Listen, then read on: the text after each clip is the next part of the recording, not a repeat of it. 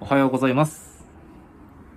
テイクアウト YouTube をメインで担当してまいります、浜田智博と申します。よろしくお願いいたします。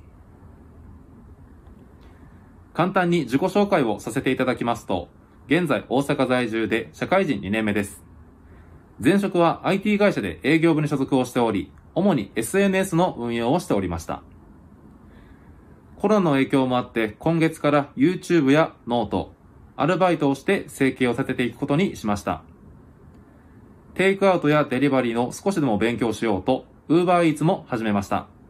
テイクアウト YouTube を始めようと思った一番の動機は、コロナ禍の大変な社会のためになることをしたいと思ったためです。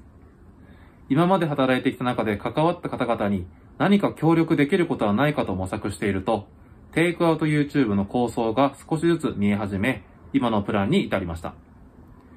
10年以上飲食店で働いていて、IT にも精通をしているゆきのさんに協力をしていただき、価値のあるコンテンツにしていけるよう努めてまいります。ご視聴いただきありがとうございました。